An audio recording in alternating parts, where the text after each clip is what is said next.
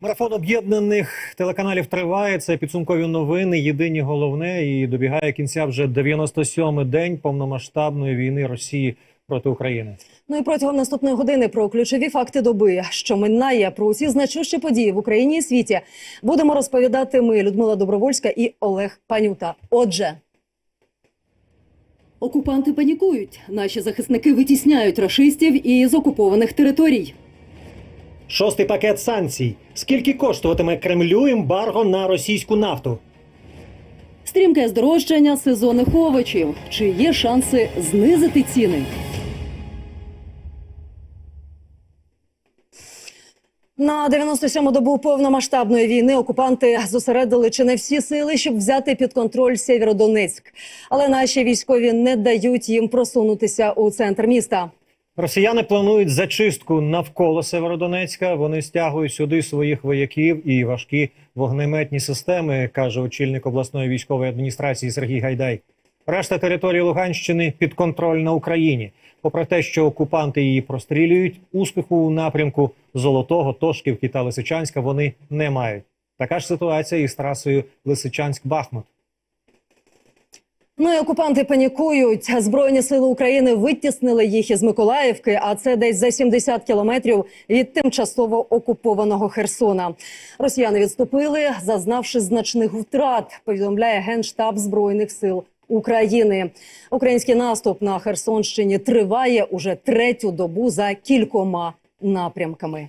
За час наступу на півдні із застосуванням бойової авіації та високоточних американських гаубиць великого калібру збройні сили України вибили росіяни з низки населених пунктів, посунувши їх на кількох напрямках Херсонщини та Запоріжжя на 8-10 кілометрів. Бої тривають. Росіяни намагаються укріпитися, ховають техніку і підрозділи по населених пунктах, прикриваючись мирними мешканцями. Але українські воїни викривають ворожі маневри і продовжують нищити окупантів. Виконуючи вогневі завдання протягом ночі, наші ракетно-артилерійські підрозділи скоротили кількість рашистів на 16 одиниць, знищили їх самохідну арт-установку, 4 броньованих та 5 інших автомашин. Також вщент розбили пункт управління БПЛА, склад боєприпасів, склад пально-мастильних запасів ворога. Життя після звільнені села Херсонщини знову починають повертатися до нормального життя. Люди відбудовують зруйновані будинки та шлють прокльони окупантам. Наш Артем Джебко побував в одному із деокупованих сіл у Херсонській області.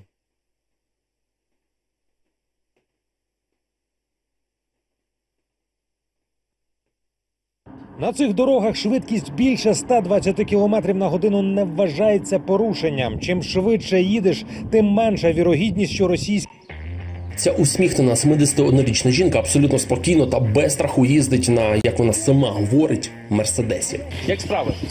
Лучше всіх. Бачите, на Мерседесі, бабушка на Мерседесі їздить. Саме головне Мерседес. Не що-небудь. Пані Анна родом із Білорусі та 50 років живе тут, на Херсонщині. Її будинок один з перших в селі. Тому рашисти, коли заходили сюди, одразу завітали до неї. І чомусь шукали саме її візок. Стоять і все. В Мерседес? І чи є на той Мерседес бензин? Це зараз цю історію місцеві згадують із сміхом. А ще зовсім недавно тут була суцільна напруга через російські війська.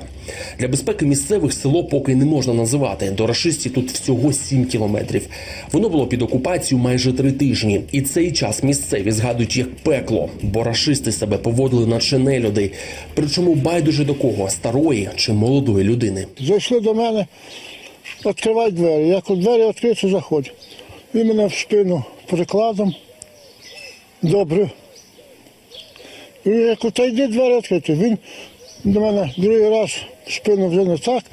Застрелю, каже. Виходити на вулицю селянам було заборонено. Чому не зрозуміло. Скоріше за все, це такий собі психологічний тиск. В селі були всі: росіяни, буряти, бойовики з квазі республіки ДНР. Вони кажуть, що ви хорошо тут живете. А я кажу до його до цього скажу, Ми жили хорошо, ви лізли сюди. Ми кажу, прекрасно, всі в нас сусіди хороші, люди всі взагалі хороші. А ви коли нам таке розрушили, Полюбляли орки і випити, а коли напивалися, стріляли в повітря та по будинках з автоматів, а потім мародерили. Вони у моєї внучки, як уходили, вибрали все. Чоловіка одежу всю забрали. Всю. Внучки забрали на 50%. Ноутбук забрали. Навіть оцей для інтернету, не знаю, як воно називається там. Воно їм треба, і те забрали. На паркані у пана Володимира тризуб, і звісно, до його двору також заходили окупанти. Щоправда, побоялись пройти у будинок, бо як виявилось, злякались бджіл. А у чоловіка ціла пасіка. Проте частину своєї техніки поставили навпроти, мовляв, аби і сам боявся. Там БМП стояв, там БТР стояв коло садика, потім якась швидка допомога, ну тільки підвоєнна там таке. Ну і коло вишки нашої там теж стояв, БМП там стояв. Є в селі своя зірка Андрюха. Так себе називає цей чоловік. Він вкрав у рашистів Урал і привіз до наших військових. Бачив, що стоїть щось подозрительно довга машина, а вони вже збираються тікати. Ну, пройшов раз мимо мене і дивлюсь, скат розпущений. Думаю, це точно вони поїхали по запаску.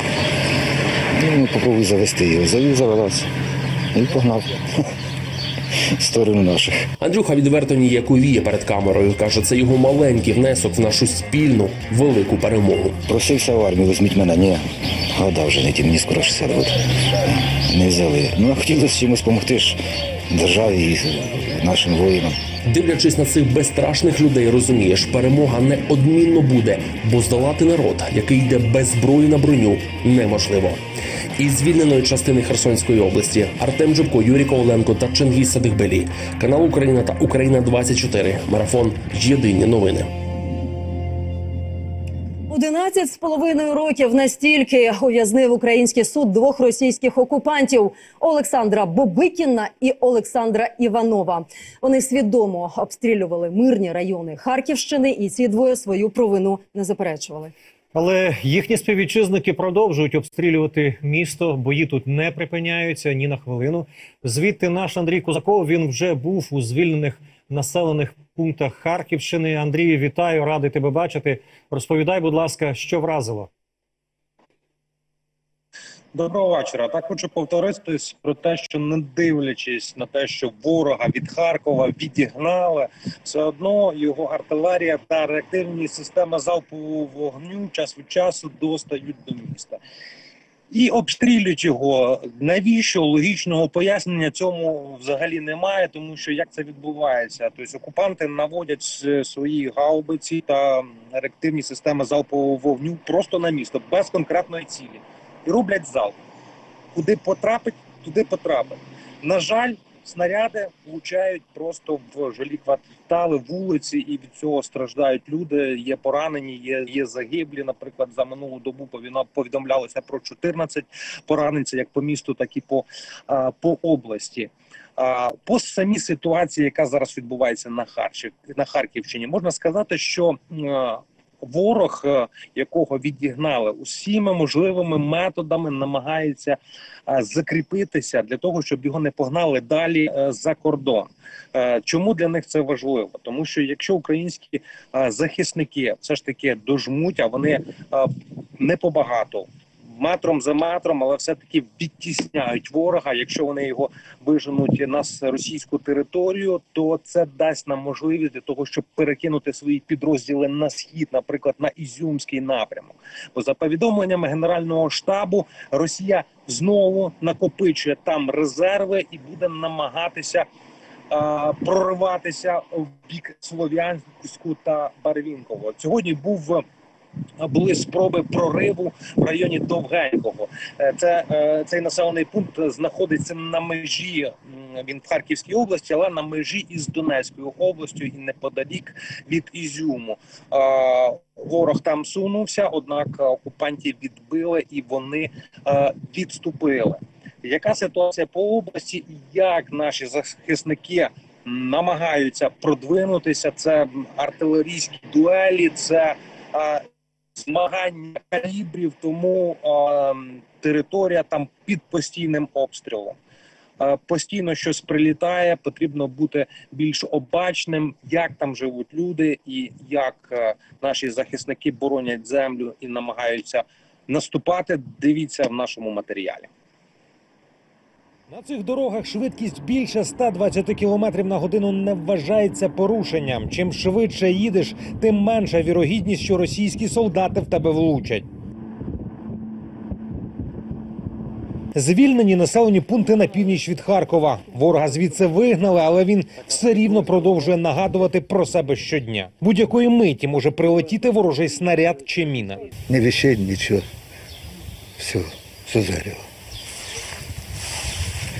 Ехать некуда и не за что. Не за что ехать, не в чем ехать.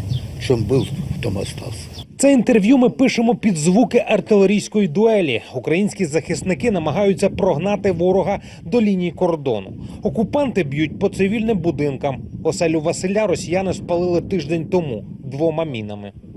Ешь, не спрашиваешь, куда она упадет. Он Был бы в доме там, в доме накрыло. Прямое попадание. Шо- А что прятаться? Праворуч, ліворуч, майже скрізь нагадування, що зовсім недавно тут був окупант.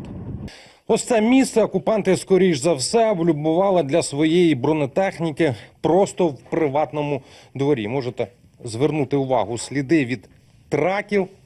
Ось пошкоджений будинок. Це коли чи танк, чи БМП заїжджали сюди і обшкрябали цеглу. Таким чином, прикриваючись цивільною інфраструктурою, вони ховали свою техніку. Ця валіза російського військового медика, як трофей, теж лишилася на згадку. Більше від неї користі ніякої. От сумка так схожа на часів Другої Так, так. Як ми бачимо, тут есмер, є в нас е, пов'язки. Це як, скажімо так, бабушки ходять до церкви, це приблизно така ж пов'язка. Ну і ПП. Як ми можемо побачити, і ПП в них тут 74-го року. Таке відчуття, що їхня армія ще залишилась в Радянському Союзі. Військовий медик з позивним Кіра пояснює, що кожна індивідуальна аптечка українського захисника має більше функціоналу ніж ціла валіза російського медика. У наших бійців і турнікети, і кровозупинні бинти, спеціальні декомпресіонні засоби усе сучасне. Все для того, щоб, е, скажімо так, врятувати життя пораненого. Ми цінуємо життя кожного військовослужбовця на відміну від них.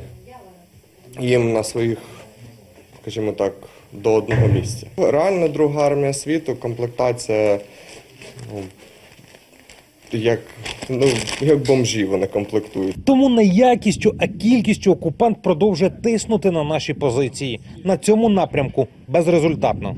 У нас есть основания для оптимизма. То есть мы продвигаемся, э, освобождаем, поэтому нам с этим проще, парням на Востоке несколько сложнее. Це Андрій, він теж військовий медик. Під час бойових зіткнень рятує бійців. А у вільний час, якщо можна так сказати, допомагає цивільним як звичайний лікар. Звертаються, тому що в них закінчуються медикаменти, тому це призводить до того, що в них виникає така потреба звернутися буде до когось, хто їм може допомогти. І коли це військові, звичайно, вони вилазять з погребів, виходять з домівок і звертаються до першої особи, які можуть звернутися. Найчастіше з якими симптомами звертаються? А, ну дивіться, е, травми. Зараз для українських захисників ціль на цьому напрямку видавити окупантів за лінію кордону і зробити неможливим, щоб російська артилерія завдавала тут ударів. Із Харківни Андрій Кузаков, Олександр Хоменко, Олексій Палій, канал Україна, Україна 24 марафон. Єдині новини. Збройні сили України звільнили понад тисячу населених пунктів. 365 із них уже очистили від того, що після себе залишили російські окупанти. Це вибухонебезпечні предмети, міни і розтяжки. Попереду ще багато роботи. А далі давайте почуємо керівника офісу президента Кирила Тимошенка. Добрий день, українці. Наші збройні сили мужньо тримають лінію фронту. Наш гуманітарний фронт, ДСНС, комунальні служби, будівельники та волонтери вже змогли оперативно відновити частину втраченої інфраструктури. Попереду ще багато роботи. Наразі звільнено від російських загарбників понад тисячу населених пунктів. 365 з них вже пройшли процедуру очищення від вибухонебезпечних предметів. На 45% відновлено залізничне сполучення на звільнених територіях. 326 населених пунктів відновили роботу закладів медицини. Понад 400 знову відкрили аптеки. 85% деокупованих міст, селищ та сіл знову зі світлом. На Київщині силами підрозділів київських регіональних електромереж заживлено усі підстанції в регіоні. Нині енергетики працюють над підключенням кожного окремого будинку чи квартири згідно з поданими заявками. Разом з тим, у всіх 120 населених пунктах області завершено відновлення послуги розподілу природнього газу. Києвоблгаз продовжує працювати у штатному режимі, окрім бригад в Бучанській, Ірпінській та Гостомельській громадах, які працюють в посиленому режимі. У Макарові розпочинається відбудова центру первинної медико-санітарної допомоги, який було зруйновано повністю. Загалом на Київщині під час бойових дій окупанти пошкодили 80 медичних закладів. Сумщина наводить лад. В містах Охтирка та Тростянець триває аварійне відновлення пошкоджених інфраструктурних об'єктів. Білопілля оговтується від авіаударів та обстрілів міста. Тут наразі комунальні служби продовжують розбирати пошкоджені будинки. Харківщина проводить активне відновлення руйнацій. За добу з міста вивезено понад 6 тисяч кубічних метрів твердих побутових відходів. В обстріляному окупантами районі Салтівці тривають роботи з відновлення мереж водопостачання. Майже по всій Харківській області виконуються ремонтні роботи на газопроводах.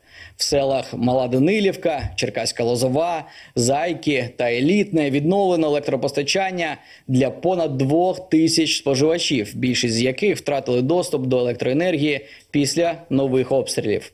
Незважаючи на підступні дії ворога, ми кожен день ремонтуємо критичну інфраструктуру, дороги та дома.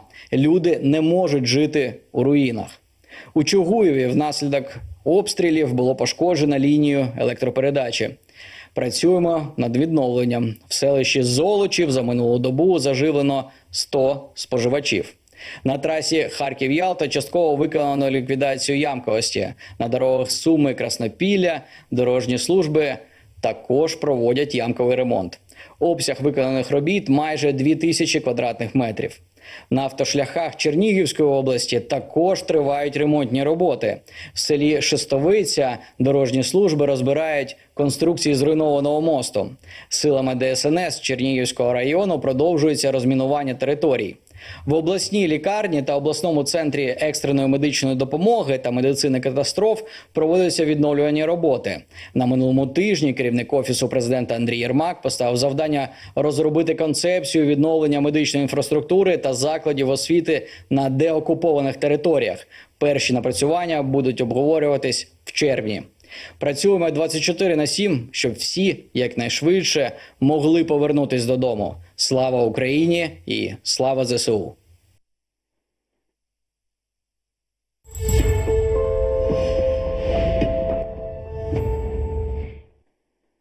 Далі про міжнародне співробітництво Ердоган знову пропонує представникам України і Росії зустрітися за посередництва ООН у Стамбулі. Якщо сторони погодяться, Туреччина ладна стати спостерігачем, наголосив Реджеп Таїп Ердоган у телефонній розмові з Путіним. Кремль цю пропозицію не коментує. Спілкувався турецький президент із українським колегою про розблокування морських портів для подолання світової продовольчої кризи. Ну і шостий пакет санкцій проти Російської Федерації. А це часткове ембарго на імпорт російської нафти і відключення Збірбанку Росії від системи SWIFT. Лідери країн Євросоюзу таки погодили. Але є нюанс: відмовитися від російського імпорту на 90% Євросоюз буде готовий до кінця року, а одразу скаже ні лише 75%. Ну і ще ЄС відмовиться від тієї нафти, що отримував від Росії морем. А ось Нафтогін Дружба, яким російське паливо отримують угорці, поки що не чіпатимуть. Анна Грішина, власкорка нашого Євробюро на прямому зв'язку. Аню, то коли ембарго стане повним, щодо цього є якесь розуміння? ЄС розглядає варіанти, щоб Угорщина е, теж могла відмовитися від цієї нафти і не потерпала економічно. Ніби польський прем'єр пропонував якесь рішення. Є якісь домовленості вже і можливо терміни. Людмило, дійсно тільки часткове ембарго на російську нафту схвалили у ЄС. Більше місяця не могли узгодити шостий пакет обмежень. Ключове питання блокувала саме Угорщина, незважаючи на вигідну пропозицію Єврокомісії трирічні канікули на пошук нового постачальника енергоресурсу. Цього разу в Брюсселі глави 27 країн ЄС одностайно погодили заборону на експорт російського палива, яке постачають тільки морем. А ось нафта, яка йде трубопроводом дружба під санкції, не потрапила на невизначений термін через незговірливу угорщину. Знов таки. А от пропозиція польського прем'єра щодо запровадження механізму зрівнювання цін на російську нафту у ЄС підтримки не знайшла. Тепер залишок імпорту російської нафти складе близько 10 або 11 відсотків, що покривається південною гілкою трубопроводу Дружба. І справді тут ми домовилися, що на даний момент це виняток. Ми домовилися, що Рада повернеться до цієї теми якнайшвидше.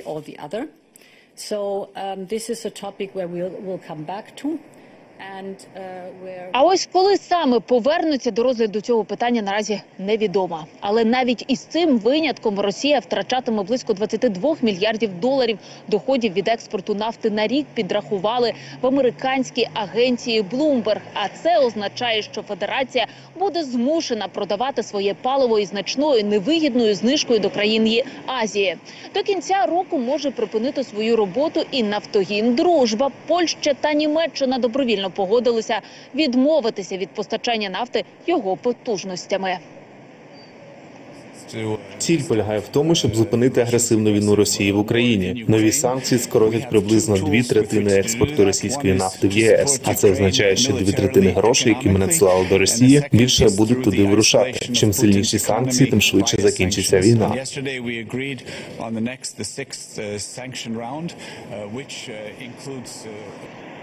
Погодили у ЄС також відключення від міжнародної платіжної системи SWIFT, найбільшого російського Сбербанку. Він здійснював близько 40% банківських операцій. Тепер фінустанова зможе працювати тільки всередині країни, а на зовнішні ринки зась. Набуде чинності шостий пакет санкцій після затвердження Радою Європи на міністерському рівні. Це може статися вже завтра, післязавтра. Ось кілька хвилин тому повідомив президент Європейської ради. Після у Європі візьмуться за підготовку сьомого пакету антиросійських обмежень. Очікуваного ембарго на російський газ у ньому не розглянуть. Повідомила Австрія та Німеччина, адже наразі на заході ламають голову. Чим замінити російське блакитне паливо? Сьогодні ж Газпром відключив постачання газу Нідерландам, а раніше Польщі, Болгарії та Фінляндії за відмову розраховуватися у рублях. Людмило. Якщо дозволиш від мене запитання, ти згадала про відключення Сбербанку Росії від системи SWIFT. Це втішна новина, але цей пакет він же містить санкції щодо російських медіапропагандистів. Хотілося б, щоб ти детальніше про це розповіла. А ще мене цікавить, чому з пакету санкцій виключили можливість для росіян купувати європейську нерухомість. Олеже не підтримав цю ініціативу з- заборони купувати російську нерухомість в ЄС росіянам саме Кіпр, де 60% е, будинків знаходяться у власності російських олігархів. Тому е, заборона на операції з нерухомістю за- загрожує е, економіці острова. Так пояснив е, відмову схвалити саме це питання влада Кіпру. А от щодо російських мовників, мова йде про три державні змі, які на потужностях супутників працювали у країнах ЄС і широко розповсюджували російську дезінформацію та пропаганду. Наразі відомо офіційно про невідомо офіційно про які телеканали йде мова, але раніше видання Політико писало, що під обмеження можуть потрапити РТР Планета, Росія 24 та ТВ Цен- ТВ Центр. Е, Я користувач, який дивиться телебачення у Європі, можу сказати, що більшість російських провладних телеканалів та інтернет-видань тут вже давно заблоковані. Олеже. Дякуємо тобі. Наш власкор Анна Грішина про шостий пакет санкцій проти Росії, погоджений країнами ЄС. Нагадаю також, що низка євродепутатів і офіс президента України, зокрема, вважають часткове нафтове ембарго недостатнім. Ну а темпи санкцій, які запроваджуються, занадто повільними. Від російської нафти добровільно відмовляються Німеччина та Польща. А ось за їх прикладом не послідували Угорщина, Словаччина та Чехія. Про це в ефірі загальнонаціонального марафону заявила радниця міністра енергетики України Лана Зеркаль. За її словами, ці країни не можуть знайти альтернативу, незважаючи на війну і на те, що всі європейські країни готові платити ціну за відмову від російської нафти. Дуже багато країн е, свідомо відмовляються від російської нафти навіть до того, як ембарго було оголошено. І це перш за все починає робити бізнес, не чекаючи на політичні рішення. Вони свідомо приймають рішення перестати закуповувати російську нафту. Водночас, якщо ми говоримо про примусове застосування цього законодавства, то це буде е, початок наступного року, тобто ембарго почне діяти через 6 місяців. За ці 6 місяців всі мають відмовитись від російської нафти. А це означає, що це буде поступова відмова, тобто поступове скорочення постачання цієї нафти на європейський ринок. Ліками і серветками Росію не зупинити, каже президентка Словаччини Зузана Чапутова. Тому її країна передасть нам гаубиці Зузанна. Побачити наслідки російської окупації у звільненій Бородянці Чапутова приїхала особисто. каже, це справжня концентрація зла. Потім обговорили з Володимиром Зеленським оборонну і економічну підтримку України. Чапутова наголошує, Словаччина боротиметься за статус кандидата ЄС для України.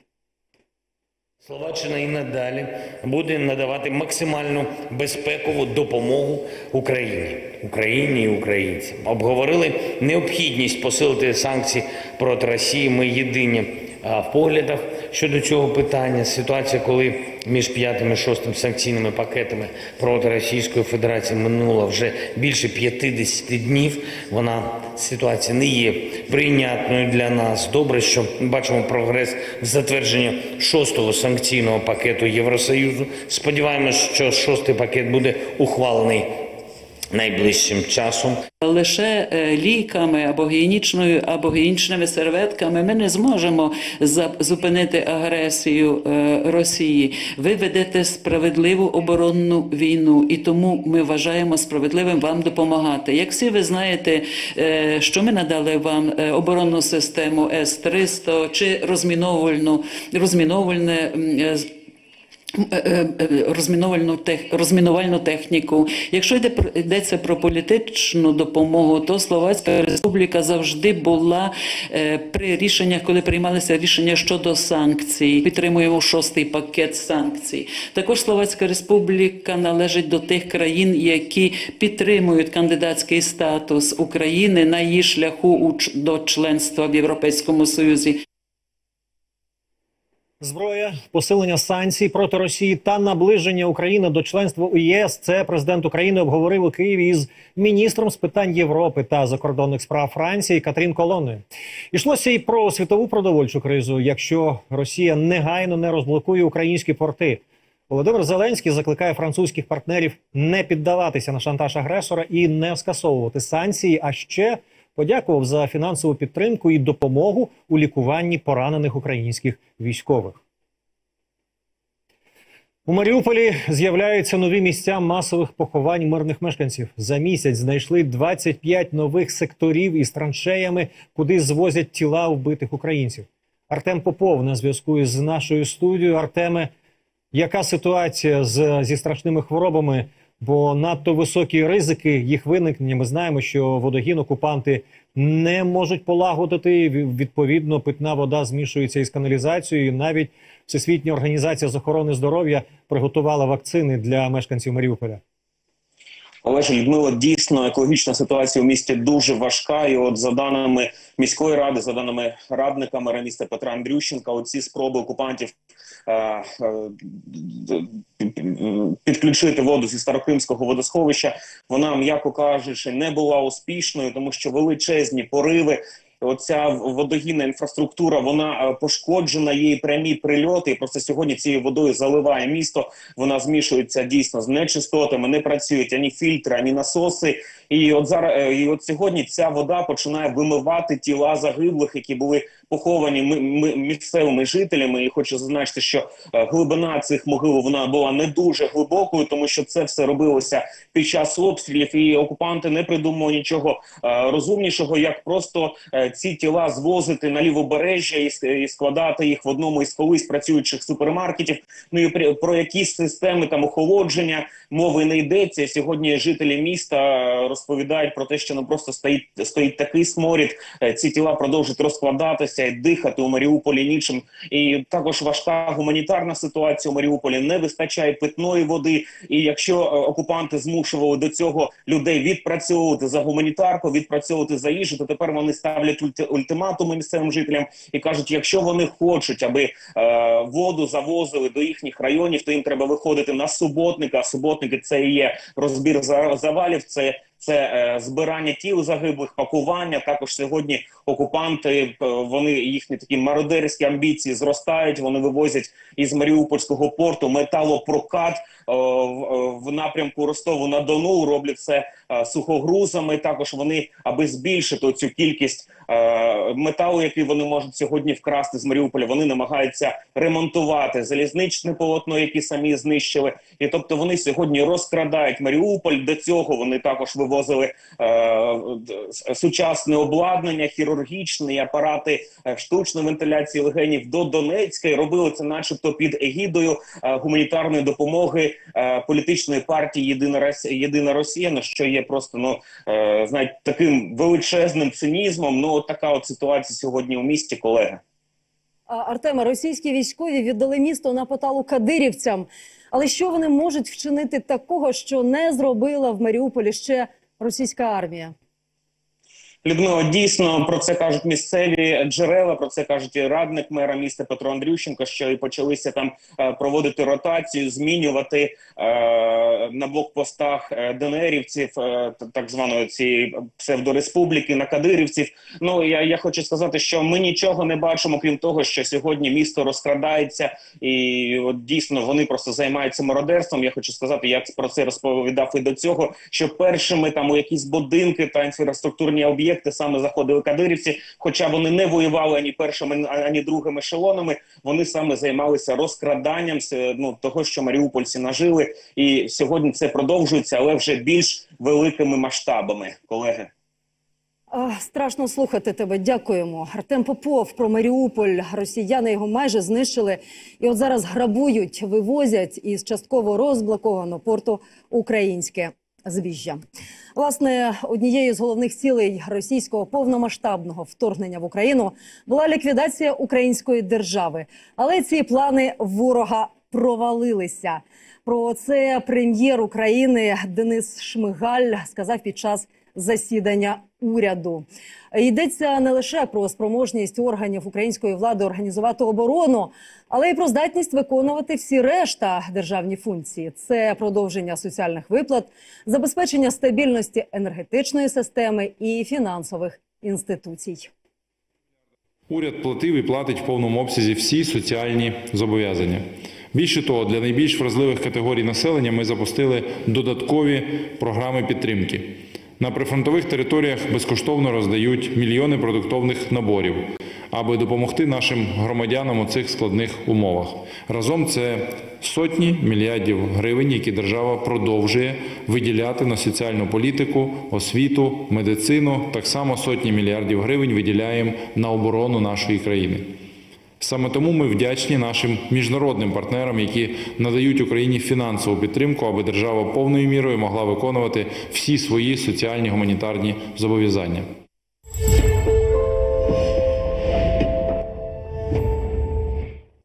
Звільнення омбудсмена, зміни до державного бюджету і санкції проти діячів РПЦ.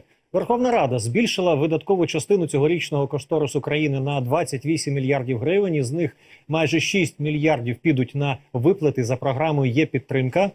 Ну а ще рада звільнила омбудсмена Людмилу Денисову за процитую системну відсутність координації дій з офісом президента і не завжди доречну медійну активність. Це дослівно. Нового призначення на засіданні не було. Ну а сама Денісова вважає таке рішення незаконним. Далі парламент більшістю проголосував за персональні санкції до патріарха московського Кирила та інших топ-церковників Російської православної церкви. Ну і тепер це рішення має ще затвердити Рада нацбезпеки і оборони. Крім того, Верховна Рада звертається до Організації Об'єднаних Націй із проханням невідкладно позбавити Росію статусу держави-члена ЮНЕСКО. Тому так важливо, щоб сьогодні Виключення Росії з е, членів ЮНЕСКО це організація, яка опікується там культурною спадщиною, пам'ятками. А зрозуміло, що країна-терорист, яка вже знищила більше 300 культурних е, пам'яток в Україні, зокрема і там і музеї Сковороди, і е, там середмістя Харкова, і, і багато інших пам'яток. Ну просто немає права, і там Чернігів та Древній Град. Ну немає права бути в організації, яка займається захистом культурної спадщини. Тому це буде звернення Верховної Ради до ЮНЕСКО, щоб ну просто виключити е, Росію із е, членів. Українським дітям треба дати можливість оговтатися від війни і робити це варто там, де немає загрози безпосередніх бойових дій. Цілий штаб зараз визначає, де можуть відкритися і безпечно працювати літні табори, і не лише в Україні. Олена Зеленська нині веде перемовини із дружинами європейських лідерів, щоб наші діти, які вимушено опинилися на території інших держав, могли оздоровитися там. Це можуть бути і об'єднані е, табори з місцевими дітьми, можуть бути мовні табори, де діти наче будуть і е, влітку відпочивати і вивчати мови інших країн. Е, Я прошу всіх, щоб вони протурбувалися і не тільки про дітей, які зараз в Україні і можуть виїхати, але також про дітей, які зараз вже там перебувають, тому що батьки в більшості пішли працювати. Неосвіченість до Гаги доведе. Пограбувавши квартиру в Ірпіні, російський окупант вирішив зробити селфі на пам'ять фотоапаратом господарів. Але що таке полароїд, він не знав. Тож, побачивши темний клаптик паперу, запхав його під килим. І, поцупивши ще й золоті прикраси, пішов убивати і грабувати далі. А відтак правоохоронці офіційно вилучили його фото, щоб додати його до доказів у Гаазькому трибуналі. Як усе було? Дивімося. Смотрите, вот фотографии, которые я нашла. Это тоже была фотография здесь. Видимо, она у него не получилась. Вот, а на этот фотоаппарат было сделано, было сделано фото. Але на окупантський фотопривіт Валерія з чоловіком натрапили не одразу. Вони мешкають в одному з житлових комплексів Ірпіня. Що відбувалось в їх оселі з приходом російських військ, подружжя думати не хоче. Ще надто болючі спогади, як після звільнення міста квартиру побачив чоловік Валерії. Дверь была взломана, все было э, в ужасном состоянии, разбросано, замки были выломаны. Російські солдати виламали майже всі вхідні двері в цьому будинку, але сюди вони прийшли першими. Ця квартира розташована на третьому поверсі. Выбежала моя соседка и говорит, что вы хотите, если вы там хотите попасть в квартиру, давайте вот я здесь живу, могу открыть вам свою квартиру, она на четвертом этаже выше нас. Они говорят, нет, нам ваша квартира нуж- не нужна, нам нужен третий этаж, мы вот хотим туда попасть.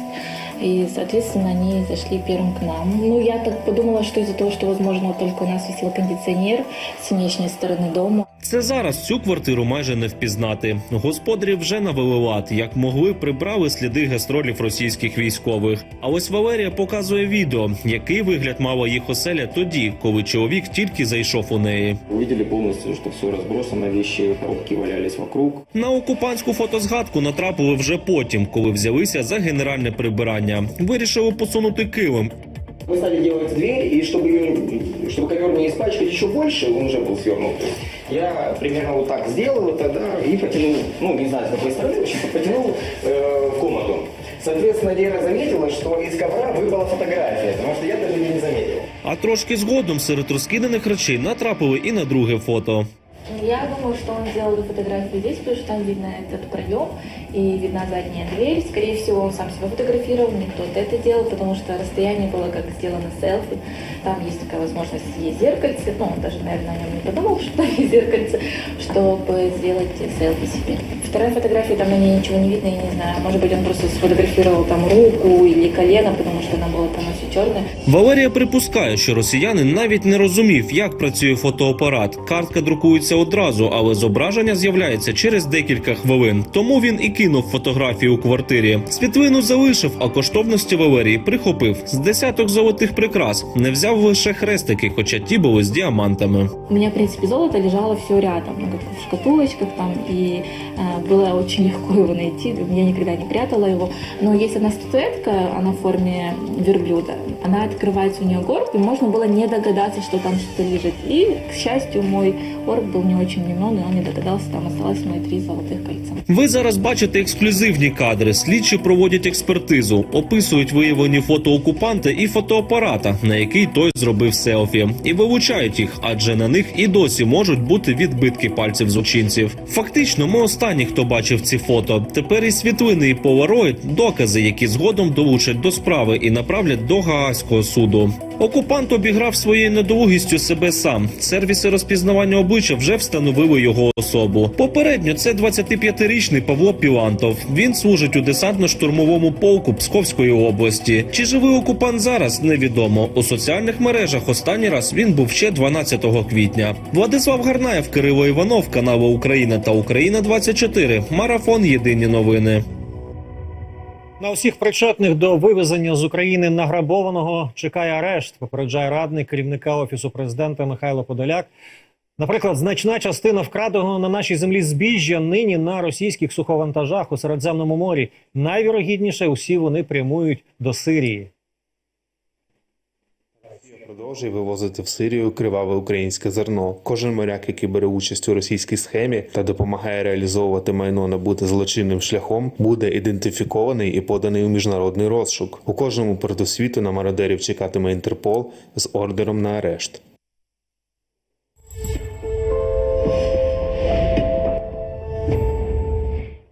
Одразу після перемоги України Польща готова стати гарантом її безпеки, заявив Анджей Дуда у інтерв'ю CNN. Каже, це із Володимиром Зеленським уже обговорили. Польща прихистила кілька мільйонів наших співвітчизників, які вимушено покинули батьківщину через російське вторгнення. Ну а російські окупанти вивезли в Ростов із тимчасово окупованого Маріуполя 2,5 тисячі тонн металу. Якщо на гроші окупанти вкрали 170 мільйонів доларів.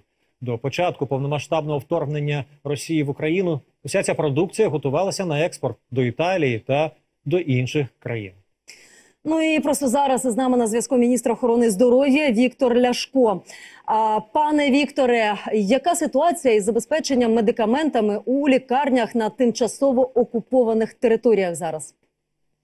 Е, Вітаю, бажаю всім міцного здоров'я. Не буду лукавити е, на територіях, які окупаційний режим пробує встановити свою владу. Є проблема з доступом до лікарських препаратів. Жодного гуманітарного коридору не було організовано з нашого боку для того, щоб ми могли завести лікарські препарати до закладів охорони здоров'я. Вони постійна комунікація відбувається з головними лікарями. І сьогодні, наприклад, чергова була комунікація, де говорили про те, що є проблеми навіть з фізрозчином.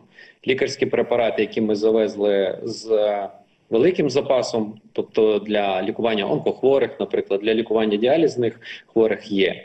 Е, І останнім часом, ну, як нас, як міністерство, досить ускладнилось питання потрапляння на територію, наприклад, Херсонської області. Е, Там обстрілюють і волонтерів, які допомагали міністерству завозити препарати. І на жаль, були і летальні випадки, тому ризикувати е, людьми ну ми не можемо. І волонтери також не погоджуються. Ми зі свого боку як міністерство активно комунікуємо з Червоним Хрестом і з лікарями без кордонів Всесвітньої організації охорони здоров'я для того, щоб вони змусили окупанта виконати виконати точніше конвенцію по захисту цивільного населення під час війни, яке зобов... е, чітко говорить, що оку- окупаційний режим зобов'язаний забезпечити медикаментами заклади охорони здоров'я, і заклади охорони здоров'я це ті заклади, які повинні виконувати свою функцію незалежно від того, що відбувається. Я з великою вдячністю звертаюся до всіх лікарів, які продовжують робити свою роботу, е, незважаючи на те, що відбувається за вікном, вони продовжують рятувати і. Ну, використовуючи запаси тих лікарських препаратів, які є, е, велика колегіальність і підтримка обміном препаратів, які відбуваються е, в закладах охорони здоров'я, які перебувають на територіях, де відбувається спроба встановити окупаційний режим. А таких у нас 235 закладів. Колеги обмінюються при можливості, якщо нам вдається доставити якийсь препарат в один заклад, він ну, через медиків передається до іншого закладу, діляться або пацієнти доходять. Е, Тому ми, як українці, ми допомагаємо один одному одному і будемо допомагати один одному. Але питання е, ну кризове і воно реально тягне за собою певну гуманітарну катастрофу, і це вже було зафіксовано минулого тижня в резолюції Всесвітньої асамблеї Всесвітньої організації охорони здоров'я, що причиною гуманітарної кризи в Україні з доступом до медичної допомоги. З доступом до лікарських засобів є визнано офіційно Російську Федерацію як країну, яка призвела до цих цілей. 88 країн, абсолютна більшість підтримало на генеральній засіданні Генеральної асамблеї, і це таки ж також є наша перемога. Нам треба тиснути на всіх фронтах для того, щоб е, Російська Федерація в першу чергу забралась взагалі з території нашої країни. Але і ми могли забезпечити рівноцінний доступ до лікарських засобів і медичних послуг усім українцям. Пане Вікторе, ви про це щойно згадали, але ми знаємо, що російські окупанти обстрілюють інфраструктуру, свідомо нищать, і, зокрема, дістається і медичним закладам. А це впливає на рівень надання медичної допомоги українцям? Чи стає це викликом взагалі для всієї медичної системи України? Ну, звичайно, впливає. Коли був заклад охорони здоров'я, а після приходу руського миру немає закладу, а є згарище, то це питання доступу до, до медичної допомоги. Так, Е, велика кількість людей вимушено е, переселилась всередині країни, виїхала за межі країни, але ми розуміємо, що велика кількість людей залишається жити е, в своїх домівках і Власне, зник у нас зв'язок. Так. Але ми розуміємо, що проблема є, і насправді це виклик для медичної системи. Але так само ми свідомі того, що цей виклик наша медична система з гідністю сприйме і вийде переможцем з цієї ситуації. Принаймні, ми цього щиро прагнемо. Після війни прибрати панельки по всій Україні. Житло має бути сучасним, каже президент. На Харківщині наголосив відновлювати панельні будинки, принаймні у містах, де росіяни їх уже зруйнували. Точно не варто. Нові будинки треба проєктувати обов'язково із бомбосховищами. А гроші та сучасні проєкти мають шукати мери і губернатори. Держава ж забезпечить гарантії цих коштів або кредитних ліній. Власне, не платити за комірне, якщо не жили вдома. Уряд дозволив не надсилати платіжки тим, хто підтвердить, що більше як місяць тимчасово змінив адресу проживання. Які документи потрібні і кому доведеться сплачувати, роз'яснить Марина Дубина. Обычно мне приходилось платить где-то около 300 гривен, в этот раз это будет около 1000. Вместо обычных 30 кубов на счетчике обнаружила 120 кубов. Поки родину Вікторії від чернігівських обстрілів ховало Прикарпаття, її гаманець спустошували чеки за комірне. На місяць їх квартира стала прихистком для двох сімей, житло яких спепелили окупанти. Им жить было негде, у нас квартира была пустая, не было ни отопления, ни света, ни воды, был только газ. Соответственно, они грелись газом, потому что в доме было очень холодно. Воду грели, мылись как-то, то есть газ горел, я так понимаю, круглосуточно. Господиня має статус внутрішньо переміщеної особи. Він підтверджує, що та не мешкала в оселі більше місяця, а це дозволяє їй не платити за комуналку. Однак через наявність лічильника тепер лише за газ сплатить суму, в яку до лютого обходилися всі послуги. И главное в этой ситуации получилось то, что люди нашли убежище. Та якщо настінного вартового у помешканні немає і більше 30 днів там ніхто не жив, на комірному можна зекономити. споживач має звернутися заявою до надавача послуг е, і додати інформацію про його місце перебування е, протягом цього е, часу. Ці документи треба надіслати надавачу послуг. Тобто це може бути водоканал.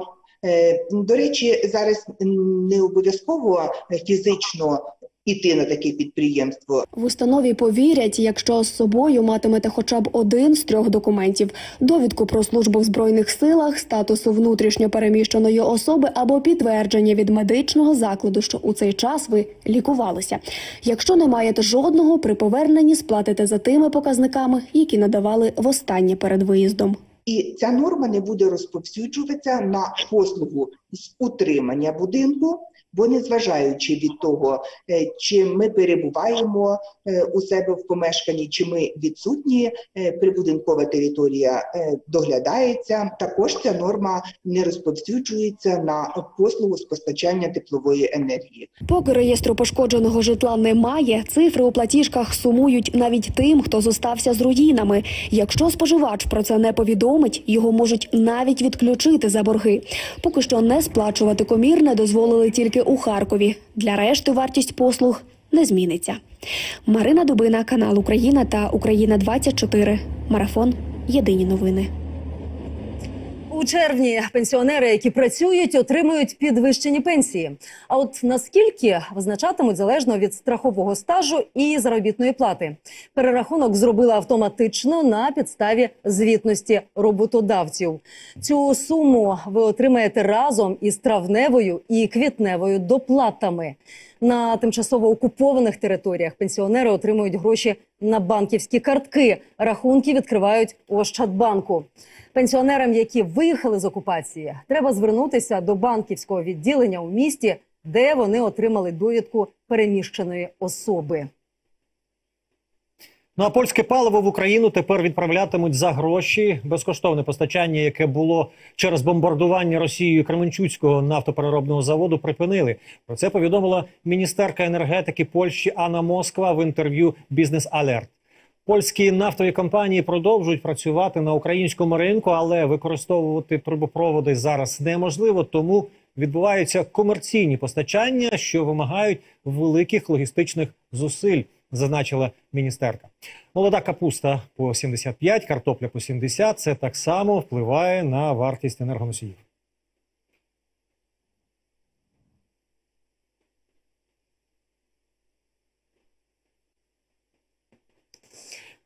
Отже, тепер про ціни на сезонні овочі. За минулорічний сезон а, ці ціни вище на 30-40%, стверджують підприємці. Чи є шанс знизити вартість, дізнавалася наша Юлія Бабак.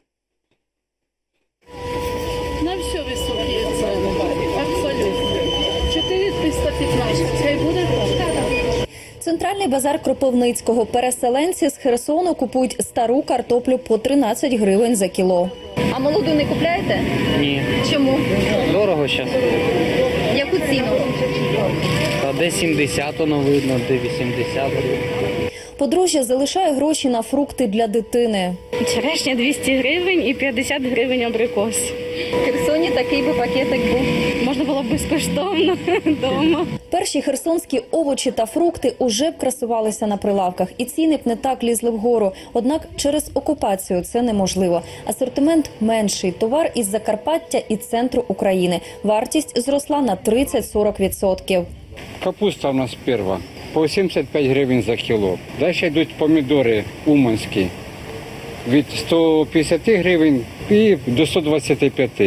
Огірок так само уманський 75, а другий 95. Клубніка черкаська 150 гривень. Ціни не падають ще через подорожчання пального. Капуста в нас должна бути вже гривень 30. А тримається досі? Так, тому що це Закарпаття. Це дорога дорога. Ну наразі картопля практично вся йде за кордоном. Дуже великі проблеми з топливом, де спаливо Логістика дуже багато з'їдає. Аби хоч трохи зекономити, люди їдуть на гуртовий ринок. Помідори купила. Яку ціну?